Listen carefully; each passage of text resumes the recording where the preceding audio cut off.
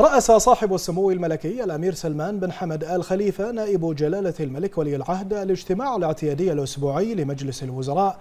الذي عقد اليوم في قصر القضيبية في بداية الاجتماع أكد المجلس أن مشاركة حضرة صاحب الجلالة الملك حمد بن عيسى الخليفة ملك البلاد المعظم حفظه الله ورعاه.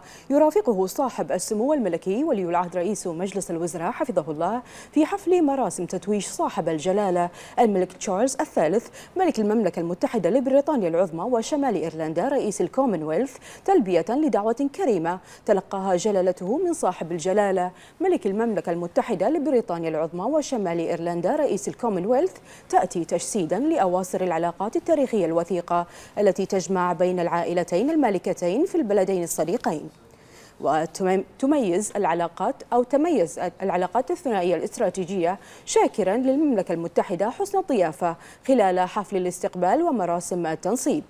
معربا المجلس عن تهانيه لصاحب الجلالة الملك تشارلز الثالث بهذه المناسبة وتمنياته الطيبة لجلالته بموفور الصحة والسعادة ودوام التوفيق والسداد.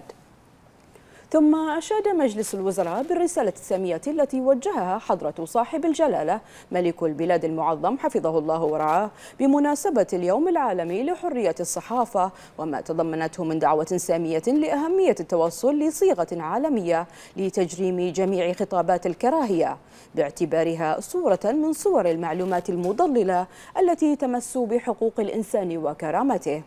منوها المجلس بمناسبة يوم الصحافة البحرينية بالإسهامات المقدرة لأبناء البحرين العاملين في المؤسسات الصحفية والإعلامية ودورهم المحوري في مسيرة التنمية الشاملة.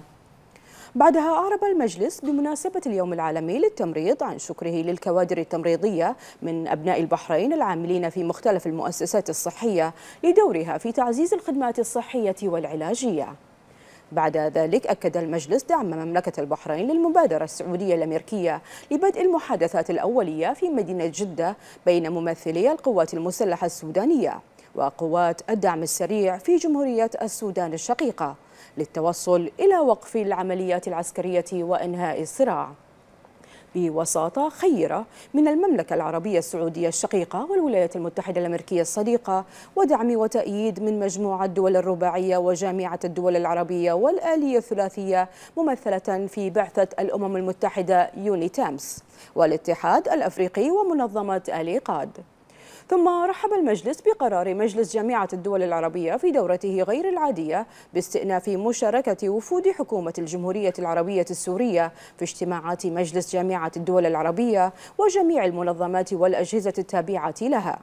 مؤكدا أن هذا القرار يدعم الالتزام العربي بالحفاظ على سيادة سوريا ووحدة أراضيها ويتسق مع المصلحة العربية المشتركة ووحدة الصف العربي.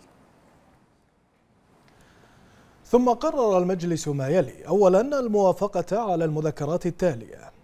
مذكرة مجلس الخدمة المدنية بشأن تطوير سياسة الحضور والانصراف في الوزارات والجهات الحكومية وذلك بزيادة مرونة الحضور والانصراف في الجهات الحكومية إلى ثلاث ساعات بما يدعم تحسين الأداء وزيادة الإنتاجية وتكليف جهاز الخدمة المدنية باتخاذ الإجراءات اللازمة لذلك.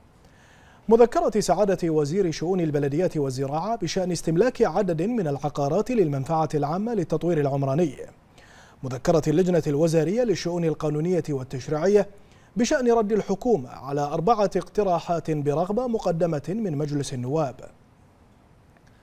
بعد ذلك استعرض المجلس ما يلي. مذكرة اللجنة الوزارية للشؤون المالية والاقتصادية والتوازن المالي بشأن آخر مستجدات العمل في مجمع السلمانية الطبي ومراكز الرعاية الصحية الأولية. مذكرة سعادة وزيرة الصحة بشأن تصنيف خريجي برامج التدريب المحلية. ثم أخذ المجلس علما من خلال التقارير الوزارية المرفوعة من أصحاب المعالي وسعادة الوزراء بشأن زيارة معالي وزير الداخلية إلى المملكة المتحدة المشاركة في اجتماعي مجلس جامعة الدول العربية على المستوى الوزاري في دورتين غير عاديتين حول تطورات الأزمة السورية وتطورات الملف السوداني. زيارة سعادة وزير الخارجية إلى جمهورية أوكرانيا مشاركة معالي وزير المالية والاقتصاد الوطني في اجتماعات الربيع لمجموعة البنك الدولي وصندوق النقد الدولي. المشاركة في تدشين إعلان مملكة البحرين في جمهورية مصر العربية اجتماع الدورة غير العادية لمجلس وزراء الشؤون الاجتماعية العرب نتائج الاجتماع التشاوري للجنة أصحاب المعالي والسعادة وزراء الصحة بدول مجلس التعاون لدول الخليج العربية. المشاركة في سوق السفر العربي 2023 المشاركة في الاجتماع السادس والثلاثين لأصحاب السمو والمعالي والسعادة وزراء الشباب والرياضة بدول مجلس التعاون لدول الخليج العربية. المشاركات الخارجية لأصحاب السعادة الوزراء وزيارات الوفود الأجنبية إلى مملكة البحرين.